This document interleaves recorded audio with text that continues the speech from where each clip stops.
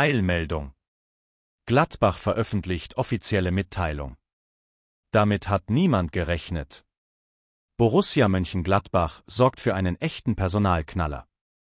Am Mittwochnachmittag, dem 7. August 2024, verkündeten die Fohlen eine Nachricht, die viele Fans völlig überraschte. Stefan Schippers ist nicht mehr Geschäftsführer des Vereins. Diese Nachricht kam besonders überraschend, da Schippers noch in der vergangenen Woche mit dem Team ins Trainingslager an den Tegernsee gereist war. Nun, nur wenige Tage später, gab der Club seinen unerwarteten Abschied bekannt. Laut der offiziellen Mitteilung hat Schippers den Verein kurz nach Ende der abgelaufenen Saison um die Auflösung seines bis 2026 gültigen Vertrages als CEO der Borussia VfL 1900 Mönchengladbach GmbH gebeten. Der Verein entsprach diesem Wunsch.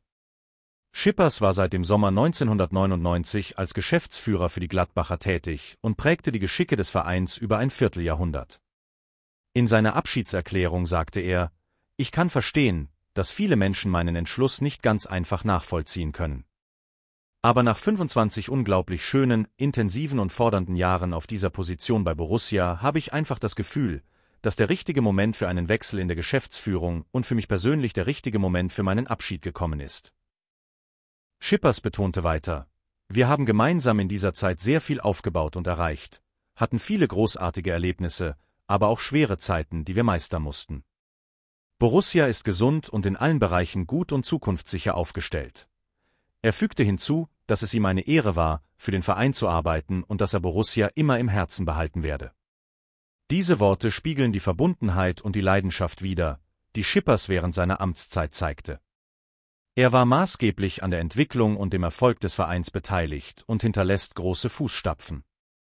Gladbachs Präsident Rainer Bonhof würdigte die herausragende Arbeit von Schippers. Stefan hat in den vergangenen 25 Jahren im Amt des Geschäftsführers herausragende Arbeit geleistet.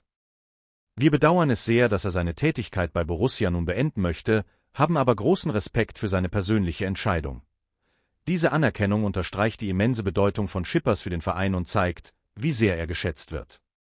Seine Entscheidung, den Verein zu verlassen, wird respektiert, auch wenn sie Bedauern auslöst. Die Geschäftsführung von Borussia Mönchengladbach besteht nun noch aus Roland Wirkus und Markus Aretz. Doch einen Nachfolger für Schippers hat die Borussia bereits gefunden. Der Name wurde jedoch noch nicht offiziell bekannt gegeben. Wir sind froh, dass wir einen sehr geeigneten und passenden Nachfolger für ihn gefunden haben und dass für einen geordneten gemeinsamen Übergang gesorgt ist.